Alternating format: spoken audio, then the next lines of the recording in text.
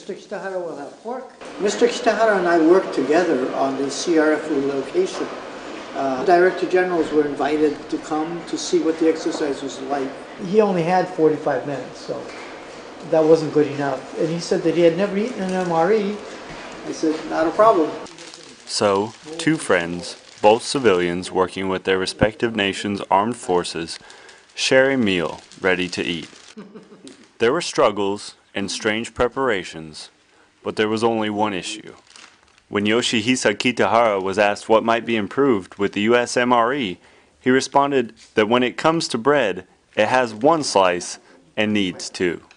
For the 118th MPAD from Camp Sendai, Japan, I'm Army Sergeant Anthony Jones.